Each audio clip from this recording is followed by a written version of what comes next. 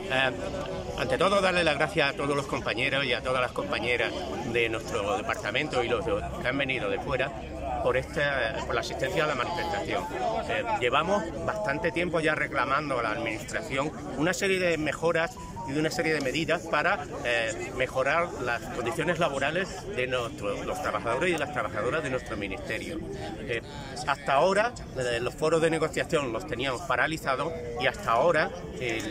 lo que se está sucediendo es que estamos perdiendo alarmantemente el personal y se están externalizando todos los servicios, con la pérdida de empleo público que eso significa y además con el deterioro de los servicios públicos que ello conlleva